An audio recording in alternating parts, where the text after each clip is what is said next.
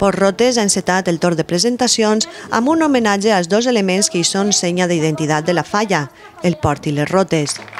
Dos parts d'un tot, com també ho són Marina Margalejo i Joan Antoni Sepulcre, fallera major i president de la falla, que divendres es van rendir homenatge amb la celebració d'una majestuosa presentació. La mar és font de moltes emocions i sensacions. Des de l'inici de la història de la falla Porrotes, la mar sempre ha estat present. Els nostres inicis, allà en l'any 1958, uniren el seu destí. La mar del nostre port i les rotes de les nostres rotes. Ja mai les separaria ningú. Sempre fidels al seu destí, sempre juntes, seguint el seu camí de la vida, el port i les rotes. I ahir el nostre benvolgut barri, el barri de Porrotes. Acte que congregà a tots els districtes fallers de la ciutat, així com a autoritats i representants de diferents col·lectius i entitats, a més de la fallera major de Dènia i membre de la comissió del Menfot, Carla Petri, acompanyada pel president de la Junta Local Fallera, Jaime Bertomeu. És nit de records i d'enyorances. Tot vas començar un 10 de març, dia que no oblidaré en la història de la meva vida. Era nomenat president de la meva falla, la falla Porrotes. Estava content, perquè continuava una gran tradició dins de la meva família. La veritat és que és un any inolvidable, que lamentablement passa molt pront, però és una gran satisfacció el haver presidit esta falla. També és una nit d'agraïments, ja que l'any ha transcorrit molt feliç gràcies a la meva família, la comissió, amics i a les falles de Dènia, però sobretot el tindre al meu costat una gran fallera major. Hi ha uns càrrecs infantils dels que estic molt orgullós d'ells. Destacar el gran esforç i treball, robant-li hores a la nit, per a disfrutar d'una gran carrossa, la millor carrossa que podria tindre. Per no dir de la nostra, de la nostra presentació, clàssica, espectacular i valenciana. Moltes gràcies a la meva comissió. Gràcies per, gràcies per tot els càrrecs del 2014. Units com sempre. Com ja sabeu, està molt complicat que mos superen. El llistó està molt alt.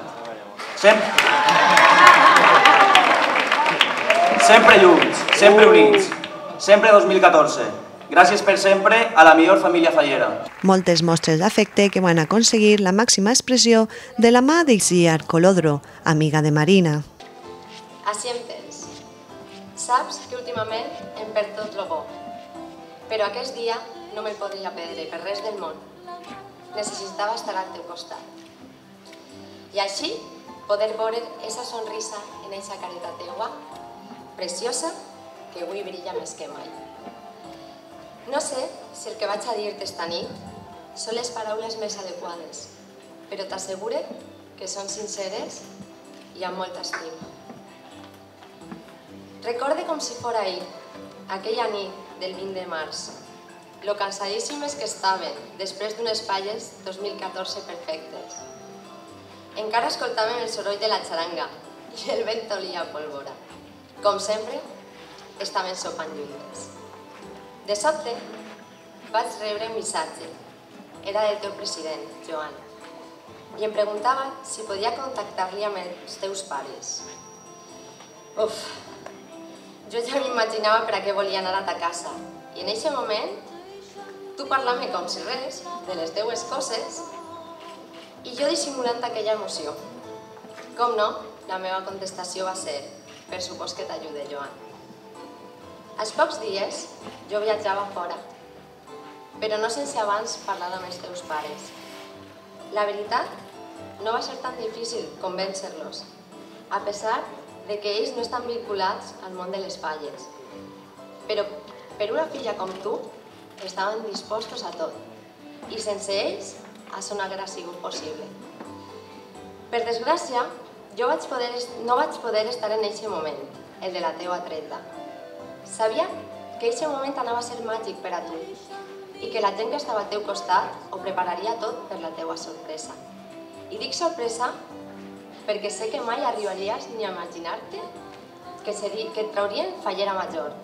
Però mira que equivocada estaves. Has demostrat ser una fallera, una gran fallera, sempre disposta a ajudar, a peu de canyó, per a la falla que tant estimes i per a la gent que tant vols.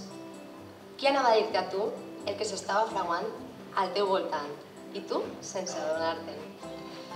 Així que en comptes de trobar la cassola perduda, el que vam trobar va ser una gran fallera major.